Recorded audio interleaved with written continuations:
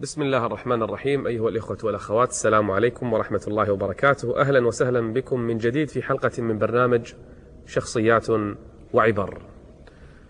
معنا في هذه الحلقة رجل ارتبط اسمه بالقرآن بكتاب الله جل وعلا. كان يرعى الغنم وفي يوم من الأيام زاره أبو بكر الصديق والنبي صلى الله عليه وآله وسلم أمامه. فلما قدم عليه سألاه هل لك من شاة فيها لبن؟ قال إني مؤتمن يعني هذه أمانة الشياح مؤتمن لسيدي. فقال له ائتنا بشاة لا لبن فيها لم تلد ما فيها لبن. يقول فجئتهما بشاة؟ فإذا بالنبي صلى الله عليه وسلم يدعو وإذا بها تمتلئ لبنا.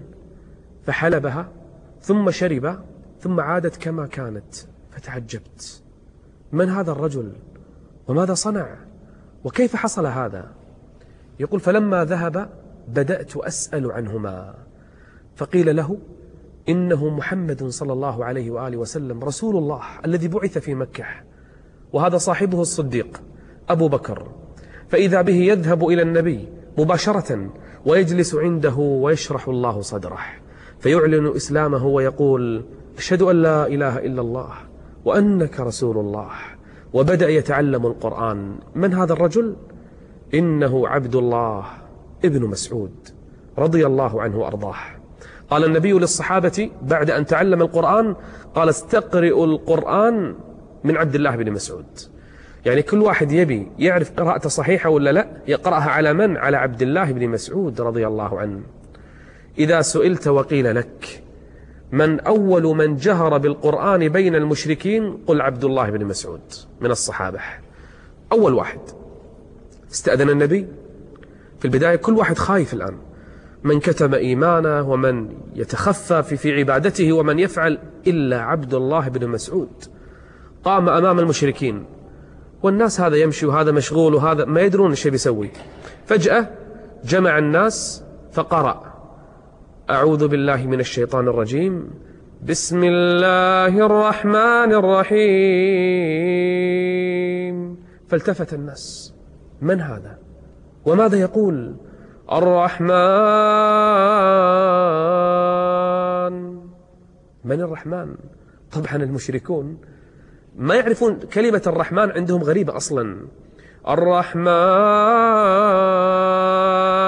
علم القرآن. خلق الإنسان علمه البيان. أخذ يقرأ ويقرأ ويقرأ فتجمع عليه المشركون. وبدأوا يضربونه وهو ما عليه منهم يقرأ ويضربونه وهو يقرأ وهو يقول فبأي آلاء ربكما تكذبان؟ بأي نعمة؟ تكذبون بها. نعمة النجم أم الشجر أم, أم الشمس أم القمر أم العينين أم اللسان والبيان بأي نعمة تكذبون؟ وهو يقرأ وهم يضربونه وهو يقرأ وهم يضربونه حتى خر على الأرض مغشيا عليه فجاءه الصحابة. جسمه قد تلطخ بالدم من رأسه إلى أخمص قدميه حتى ظنه الناس قد مات فحمل. وأدخل إلى بيت أحد الصحابة. يطبب ويعالج. وقالوا له لما صنعت هذا يا عبد الرحمن؟ لما فعلت هذا؟ قال والله والله لوددت أن أرجع مرة أخرى غدا فأقرأ القرآن فأفعل ويصنع بي ما شاءوا حتى تخرج روحي.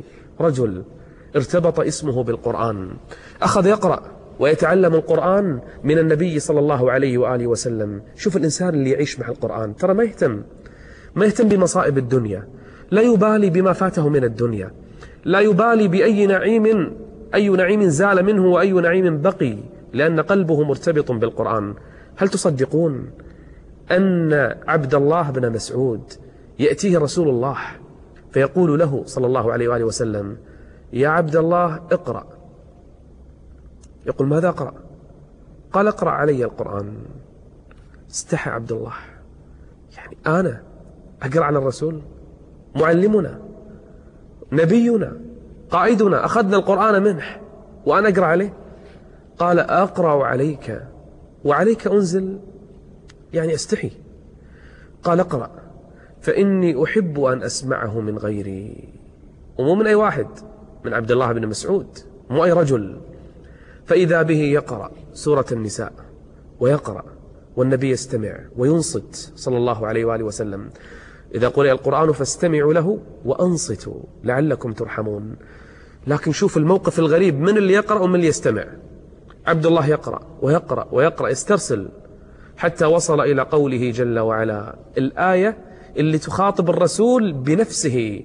فكيف إذا جئنا من كل أمة بشهيد؟ وجئنا بك أي أنت يا محمد. وجئنا بك على هؤلاء شهيدا. عبد الله بن مسعود يقرأ يقول لما وصلت هذه الآية قال حسبك. يعني بس خلاص. يقول فنظرت فإذا عيناه تذرفان. يبكي بأبي هو وأمي عليه الصلاة والسلام. إنه عبد الله بن مسعود الذي يقرأ القرآن غضا طريا.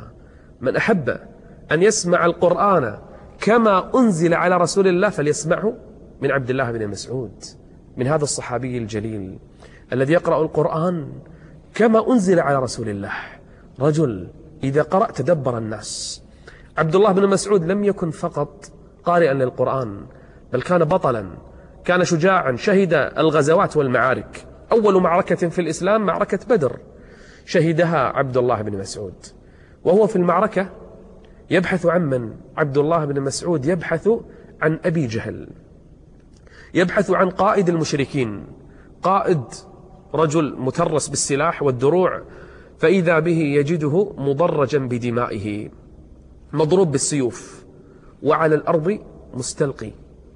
فإذا بعبد الله بن مسعود يسرع إلى من؟ إلى أبي جهل. من ضربه؟ ابن عفراء.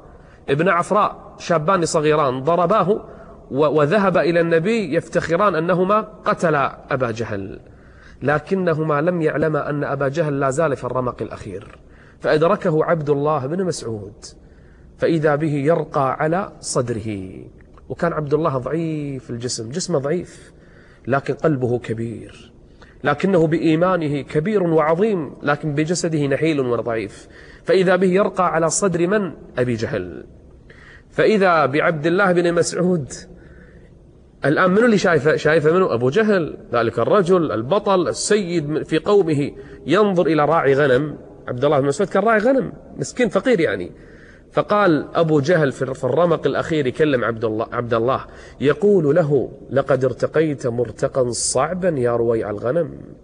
أنت ركبت مكان مقدك شوف الكبر والفخر في أبي جهل حتى قبل الموت. ثم سأل أبو جهل لمن الغلبة؟ من اللي غالب في المعركة؟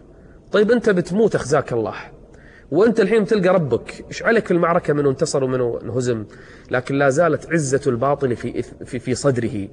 اعتزازه بالكفر لا زال حتى قبل الموت. محتم بقومه. محتم بالباطل الذي يحمله. فإذا به يقول عبد الله بن مسعود الغلبة لله ولرسوله يا عدو الله. ثم أخذ السيف فحز رأسه. أكمل به. نهاية حياته. ثم أخذ رأسه وألقاه بين يدي رسول الله. ثم قال النبي الله أكبر مات فرعون هذه الأمة. أبو جهل مات أبو جهل من قطع رأسه. إنه الرجل النحيل إنه الرجل الضعيف إنه الرجل الذي جهر بالقرآن فضربتموه الآن جاء وقت القصاص وهذه غلبة الدين إذا انتصر. عبد الله بن مسعود يوم من الأيام كان يرقى على شجرة في مكة كان يرقى شجرة أو في المدينة. وإذا بالصحابة ينظرون إليه. جاءت الريح فانكشفت ساقا عبد الله بن مسعود. الساقان انكشفتا وكانت ساقاه دقيقتان أضعاف يعني. له ساقان دقيقتان. فإذا بالصحابة ينظرون إلى ساقيه فكأنهم ضحكوا يعني. مسكين يكسر خاطر فقال النبي لهم مما تضحكون؟ من دقة ساقيه إي نعم. يعني مو مو, مو شيء مقصود لكن يعني شفناه شكله مسكين يكسر الخاطر يعني. فرد النبي صلى الله عليه وآله وسلم على من؟ على الصحابة. قال تضحكون من دقة ساقيه والله إنهما أثقل في الميزان من جبل أحد. الله أكبر. هذه شهادة النبي في من؟ في عبد الله بن مسعود. إن عبد الله بن مسعود كان رجلا متواضعا. يوم من الأيام بعض الصحابة كان يتكلم كل واحد يعني يتكلم عن أعماله. فقال عبد الله بن مسعود قال والله والله لو تعلمون ما في لحثيتم على رأس التراب وهو مبشر بفضائل كثيرة. أحد الصحابة يوم من الأيام يقول والله لا أحب أن أكون من أصحاب اليمين أحب أن أكون من المقربين همة عالية. فقال عبد الله بن مسعود قال والله إنني أتمنى وأرجو إذا مت ألا يبعثني الله عز وجل. وينك أنت؟ تقول أصحاب اليمين ولا المقربين؟ أنا أخاف إذا بعثت أن يسألني الرب عز وجل. قبل وفاته جاءه عثمان بن عفان وهو يحتضر. قال مما تشتكي؟ قال ذنوبي. قال ماذا تشتهي؟ قال رحمة ربي. قال آتي لك بطبيب؟ قال الطبيب أمرضني. يعني يقصد الله عز وجل. أرادني خلاص يعني ما ينفع معي طبيب. فقال له أقسم لك عطاء. أي شيء تبي؟ قال لا حاجة لي بهذا. فلفظ ذكر الله ووحد الله ثم قبض الله عز وجل روح عبد الله ابن مسعود رضي الله عنه. اسم قد ارتبط بالقرآن. شخصيتنا في الحلقة القادمة رجل من الحبشة. عاش مع النبي مع أصحابه من البادئين في الدخول في الإسلام من السابقين. عذب عذابا شديدا. كل من عذب في مكة أجاب المشركين لما أرادوا بالإكراه طبعا. إلا هو فإنه لم يجبهم. جعله النبي مؤذنه الخاص. من مؤذن رسول الله؟ هذا موضوع حديثنا بإذن الله عز وجل. في الحلقة القادمة كونوا معنا. استودعكم الله والسلام عليكم ورحمة الله وبركاته.